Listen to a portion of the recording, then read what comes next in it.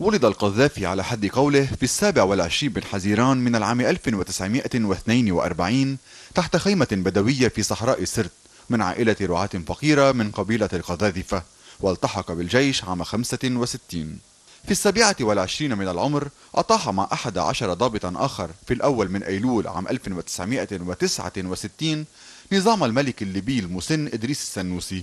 الذي كان في فترة نقاهة في تركيا من دون إراقة قطرة دم واحدة. وفرض القذافي نفسه قائدا للثورة التي عرفت بثورة الفاتح وحصل على دعم الرئيس المصري وقتئذ جمال عبد الناصر.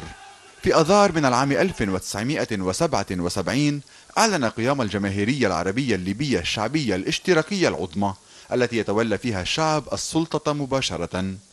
وأثار القذافي استغراب من حوله لا سيما الغربيين بسبب غرابة أسلوب حياته وأزيائه التقليدية وطريقته في ممارسة السلطة وتصريحاته. في حل حل سلاطين بعدين يا علي بس ونظرياته المبتكرة حيث يرى أن كتابه الأخضر يشكل الحل الوحيد للبشرية. اتخذ العقيد الليبي قراراته في أغلب الأحيان من خيمته المتنقلة في الصحراء بحماية وحدات أمنية من النساء بالزي العسكري والتي رافقته في معظم رحلاته إلى الخارج.